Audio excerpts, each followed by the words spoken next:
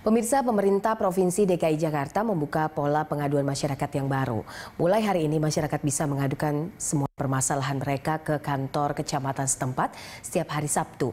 Dan untuk mengetahui mekanisme pengaduan itu, kita akan bergabung bersama reporter Ismail Reza serta juru kamera Haryadi Jamal. Ya Ismail, apakah ada perbedaan uh, sistem pengaduan dari hari Senin hingga Jumat dengan pelayanan di hari Sabtu ini?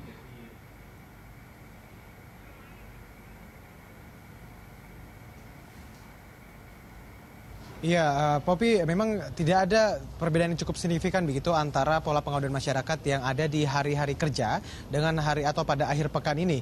Nah, namun ini perbedaannya datang dari targetnya begitu. Kalau tadi disebutkan oleh Camat Jatinegara yakni Nasruddin Abu Bakar menyebutkan bahwa di akhir pekan atau di hari Sabtu ini pola pengaduan masyarakat yang memang diinjau atau dihimbau oleh Pemprov DKI ini diharapkan bagi warga-warga yang biasanya pada hari kerja ini melangsungkan kegiatan atau mereka bekerja dari pagi hingga sore hari atau dari pagi hingga malam hari dan tidak dapat melangsungkan pengaduan di hari Sabtu ini agar dapat melangsungkan pengaduan. Nah, itu memang target-target mereka. Dan secara mekanisme pun memang ada sedikit perbedaan begitu. Tadi disebutkan uh, mekanisme dari pengaduan masyarakat yang hadir atau yang ada pada hari Sabtu ini ketika masyarakat datang di hari Sabtu untuk melangsungkan pengaduan kemudian besoknya ini para pejabat di tingkat kecamatan ini setelah bekerja bakti langsung melangsungkan peninjauan di lokasi-lokasi atau tempat mereka mengadukan masyarakat atau lokasi-lokasi dari TKP yang menjadi tempat permasalahan tersebut. Nah, ketika uh, bersama ini pejabat-pejabat kecamatan ini melangsungkan tindakan atau peninjauan ke lokasi ini bersama dengan satgas-satgasnya. Nah, ketika ketika mereka langsung uh, meninjau dan bisa diselesaikan saat itu juga artinya pengaduan masyarakat yang datang pada pada kemarin ini dapat selesai dalam satu hari.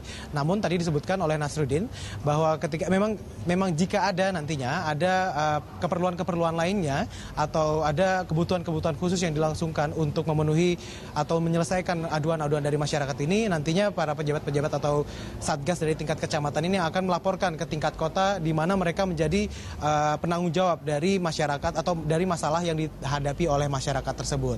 Nah setelah itu baru pada hari Seninnya mereka langsung melangsungkan evaluasi begitu. Nah, dari evaluasi-evaluasi ini, jika ada permasalahan-permasalahan yang memang datang eh, atau menjadi tanggung jawab dari ranah Pemprov, itu baru uh, masuk laporan-laporan tersebut ke ranah pemerintah Provinsi DKI Jakarta.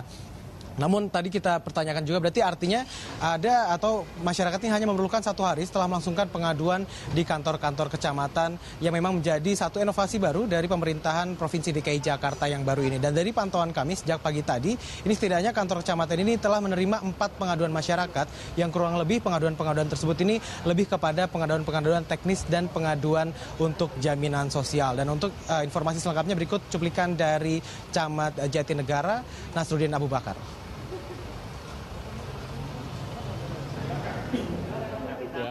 Jadi seperti tadi sudah dijelaskan oleh Pak Wali, jadi kita lihat dulu permasalahannya apa. Nah, contoh misalkan masalah saluran.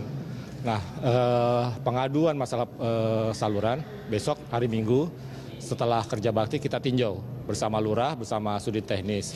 Nah, apabila itu memang saluran itu bisa kita kerjakan saat itu juga bersama PPSU dan eh, Sudin eh, Satgas Satair, pasukan biru, kita selesaikan. Kita eksekusi hari itu juga, gitu kan. Nah, syukur-syukur bisa selesai. Nah seandainya tidak selesai, mungkin perlu waktu ya kita lanjutkan besoknya. Tapi apabila tidak bisa kita selesaikan karena mungkin kendala teknis, itu misal perlu uh, alat berat, perlu uh, material segala macam, yang itu menjadi kewenangan uh, tingkat kota. Nah kita bawa, kita sampaikan di, rap, uh, di rakor di tingkat kota pada hari Selasanya. Sehingga di bawah koordinasi Pak Wali itu akan diperintahkan sudin-sudin teknis untuk membantu permasalahan yang ada di Jatinegara. Iya, Popi. Ismail, lalu bagaimana antusias dari warga terhadap operasional dari pelayanan di hari Sabtu ini?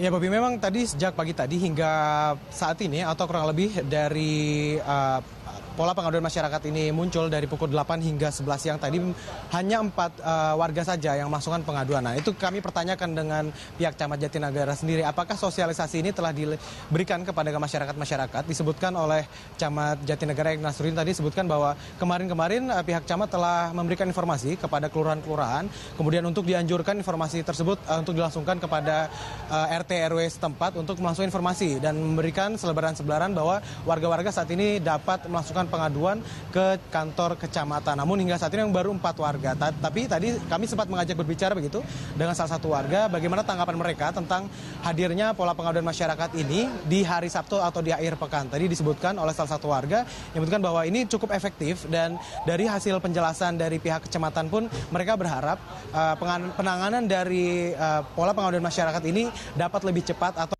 uh, dapat berlangsung hanya satu hari saja itu dan kita ketahui memang sebelumnya pengaduan masyarakat ini datang ke balai kota atau ada pelayanan terpadu satu pintu di uh, mall pelayanan publik begitu. Dan mereka berharap atau mereka merasakan dengan adanya kantor kecamatan ini yang menyediakan pola pengaduan masyarakat baru ini uh, mereka lebih dekat begitu dengan rumahnya. Kemudian di hari Sabtu pun juga menjadi keuntungan tersendiri bagi warga di sekitaran kecamatan Jatinegara ini karena mereka tidak harus berlari atau berburu-buru begitu. Setelah mereka bekerja di hari kerja biasanya namun di akhir akhir pekan ini mereka dapat pagi-pagi setelah berberes-beres rumah begitu mereka langsung datang ke kantor kecamatan untuk melangsungkan pengaduan ke pihak kantor kecamatan. Ya itulah informasi yang dapat kami sampaikan kopi dari kantor kecamatan Jatinegara. Baik, terima kasih Ismail Reza untuk informasi dan juga laporan Anda.